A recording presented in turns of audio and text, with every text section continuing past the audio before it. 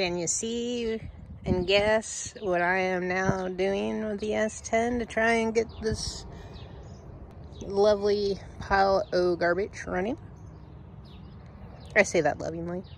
So, new S10 content is coming. Um, so, uh, hopefully I'll have it posted in the next day or so.